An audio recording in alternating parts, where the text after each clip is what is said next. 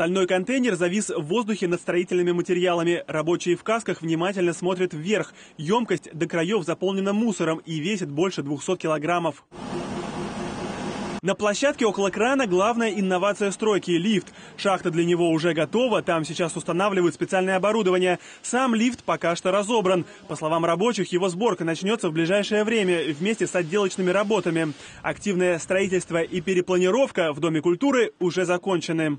Еще в начале года вот здесь была летняя веранда. Эти колонны стояли на улице. Само здание заканчивалось этой стеной. Вот она за ней хореографический зал, а туда дальше по коридору главный вход. Пару десятилетий назад в этом зале проводили дискотеки и демонстрировали фильмы. Здесь был видеосалон. Сейчас здесь все заставлено вентиляционным оборудованием, но совсем скоро его уберут, а здесь оборудуют хореографическую студию и конференц-зал. На втором этаже в концертном зале сейчас кладут новый пол.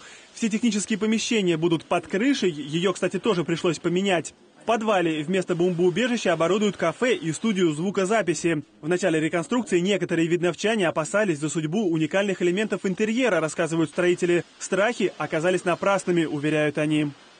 Внутренние колонны, внешние колонны, э, картины, которые у нас на фойе, на первом этаже, на втором этаже, в нашем зале картины – на данный момент все это сохранено.